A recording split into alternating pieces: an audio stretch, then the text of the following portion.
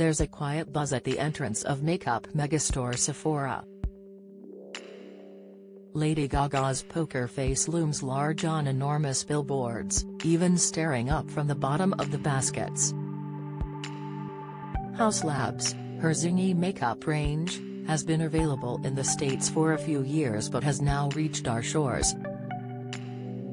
Fans, male and female, are gathering around the stand trying out the supercharged and high pigment lip crayons, eyeliners and shimmering highlighters.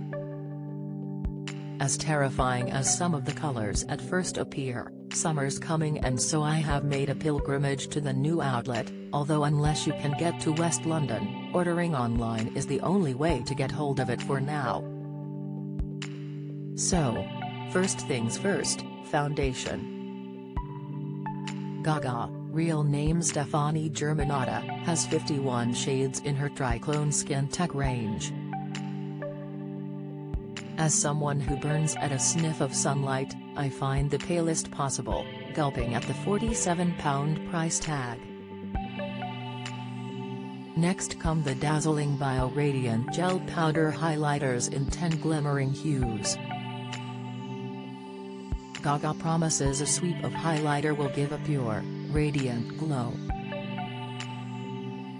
I opt for the soft pink rose quartz shade, at £44 a pop, that looks the most wearable. Onto the eyes, and two Optic Intensity Eco Gel Eyeliner Pencils, whatever that means. One in a very Gaga-esque lime green chartreuse matte, the other in deep cocoa matte brown.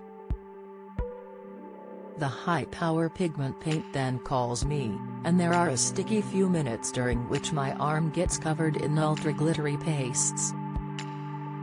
The fuchsia pink magenta shimmer and a very metallic gold shimmer it is, both of which have clearly taken inspiration from a Christmas bauble. Elan Monster Lip Crayon in Scarlet Matte finishes off the purchases, and my credit card, and several steadying breaths later, the total is more than £200. A security guard gently helps me out of the shop as I look round for a paper bag to hyperventilate into.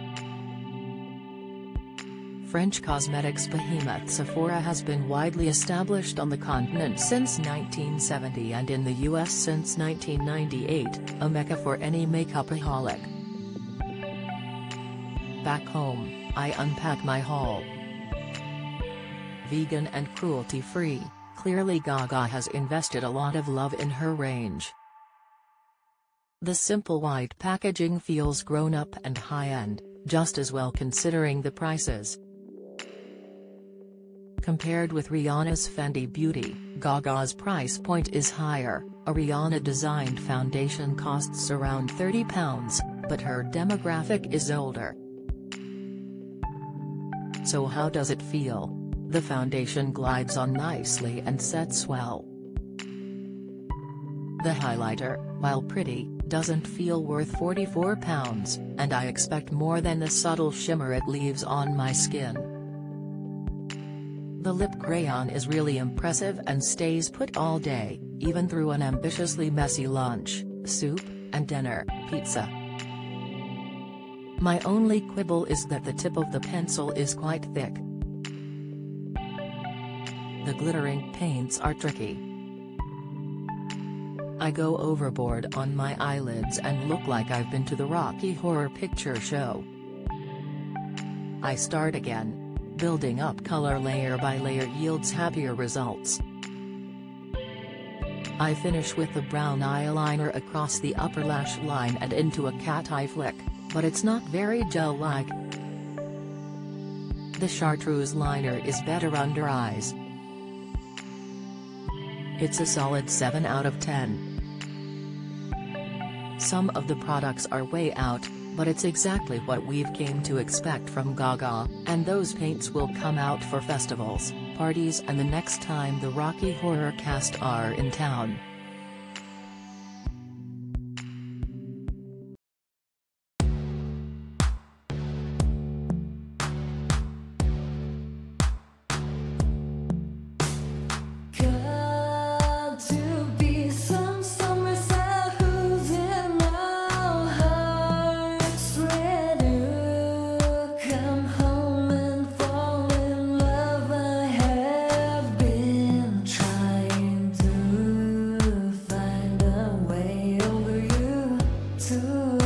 Unstoppable.